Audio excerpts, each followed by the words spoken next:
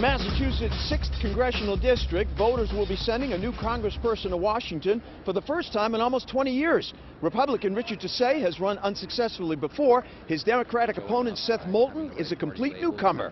So, what do the voters think of having new options? Congratulations. Hey, thanks a lot.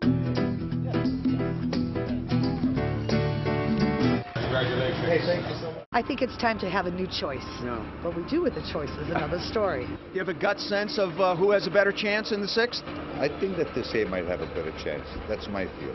Moulton will do a good job. I like his background. Once they get embedded in in D.C., you know, I, everyone with the greatest intentions always gets converted by some kind of pressure. For the first time, it's almost 20 years. Yeah, we, this way we have maybe something to say.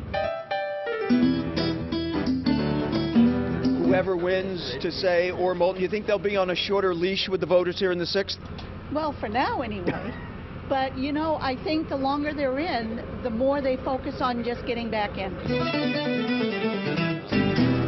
Our OTR political analysts today are Democrat Mary Ann Marsh and Republican Ginny Buckingham. Ladies, thank you for joining. Let, us start in the sixth. There are, what, five weeks to go before the election. Mary Ann, first off, how, how's it shaping up in the sixth? It is an open seat. It is an open seat, but it's going to be Seth Moulton's seat. The fact is, taking out Tierney allowed him to raise his profile, put an organization together, raise the money. He has a huge advantage over Tisei, who didn't have the chance to do any of He that. only lost by a point the last time. He should have pretty good name recognition. He certainly district. does, and it's a good district for Republicans. We've had Republican congressmen elected there before, so I wouldn't write it off yet. Um, let's switch over to the gubernatorial campaign. Insiders dust up in the Baker campaign. Uh, with only a half dozen weeks left, uh, Charlie Baker boots his media and image guy, Doug McAuliffe, and brings in Larry Weitzner of Chris Christie fame back in uh, 2008, I think it was. What does this tell you, Marianne? You only do this for two reasons. At this late stage, if you're losing and your ads aren't working. And that has to be the case for Charlie Baker, because you would never do this at this point in the campaign if that weren't the case. Is she right about that? It is a little bit late in the game to make the change, but if you have to make it, you make it. And then there's plenty of time to make up for it. And is five weeks enough to change your image and to change your, your message, basically? Because um, Doug McAuliffe was more than just an ad guy, was he not? So five weeks is plenty of time, first of all, and I don't think he has to change that much. This election is about who can run this state better, who can fix all the problems that we've seen over the last several years, and Charlie Baker has a good, strong track record, and he's going to make that case. You only, again, we've both been in this situation, you only make this move if you absolutely have to. You try to avoid it at all costs. If it's the difference between winning and losing, of course you do it, but you're not playing from a position of strength. What about his uh, problem with the gender gap and his gaps on Hobby Lobby, NFL, and now calling a reporter sweetheart uh, when he was trying to dismiss her? Does that add to his problems here? Well, Ginny? first of all, I worked with Charlie Baker for eight years in the Weld administration. That is not Charlie Baker. He respects women. He was very respectful of me. What he needs to focus on is the sweetheart deals that Martha Coakley has cut with inside lobbyists who get off But- after taking money from a hospital. Mm. That's what he should focus on is who he is. Mar- Marianne, before you respond, we- we want to play the sweetheart comment within context. This is the this is the way it was presented on the air to Fox reporter Sharman Sacchetti was talking to him. Take a look. When I tried asking one last question about how Democrats believe it could mean the start of negative ads, here's what Baker said to me. Democrats are saying they, they just put it on an email a couple of minutes. Okay, it's going to be the last one, It's the last one. we're gonna have to go. Sweetheart. I'm kidding.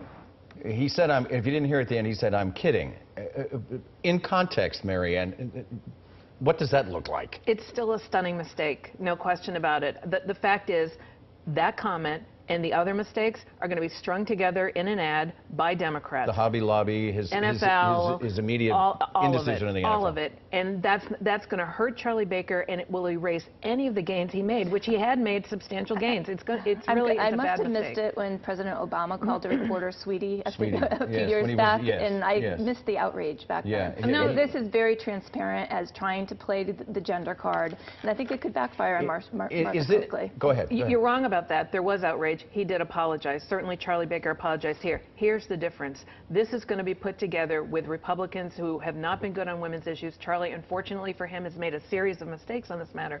He had cut his um, his gender gap substantially, but this could easily cost him the race. He doesn't, he doesn't need to win women. He just needs to cut the gap, and Is, he's going is this to. a, Yeah, no. a, a, a, a John Silber-like gaffe, Marianne? What, uh, uh, It, it, it is, and it could cost him the race, and that's that that's that tells you everything. Disagree? Big overstatement. I, I think this is going to backfire. Uh, Martha Coakley, meanwhile, let's, let's sw- switch over to her. She's still trying to make as little news as possible, and she's hoping that once again she'll be able to slide into victory. But she is bringing Michelle Obama and Joe Biden in to catch up with Charlie Baker on fundraising. Latest polls has her up by 10 points. But is she really that far ahead, Ginny? I don't think she is, and she's not going to be able to hide for long. Debates are going to start. Voters are going to be able to compare the candidates head to head, and she's not going to do that well in that context. Is this the right strategy for her to try to hide as much as possible, Ginny? Be- uh, Before this mistake, I wouldn't say 10. I think it's closer to 10 now. The fact is, all Martha Coakley has to do is sharpen her message a little bit, raise some money, and, and avoid mistakes. And when you bring in Michelle Obama and, and Joe Biden, what that does is not only raise money, it turns out voters for the, uh, the general election, which Democrats need. Um, Charlie Baker, meanwhile, won a very interesting endorsement uh, this past week from Jack Connors. He's one of the prime agents for Partners Healthcare, which also got a big decision uh, from Martha Coakley earlier this year. She got political pushback for allowing Partners to expand. Is she losing on both ends here, Ginny? She kind of is, and you know, no one knows who Jack Connors is, but the insider Democrat fundraisers and others know who he is, and it's a signal. It's a signal. Look, the days of institutional uh, endorsements and institutional players endorsing are over. And I think, yes, can Jack Connors raise her money? Certainly. But the fact is, anyone who was going to uh, Baker was going with him anyways, not because of Jack yes Connors. or no on this? Scott Brown has new ads. Donald Trump, more polls showing him neck and neck with incumbent Jeanne Shaheen. Question, is the strategy tying her, Jeanne Shaheen, to the president look like it's working? Marianne, what yes or no? No, What it's only, think? it's his only card. Ginny, It is working, and, and that race is very close. No. and we continue, no? We continue on the record. Stay with us.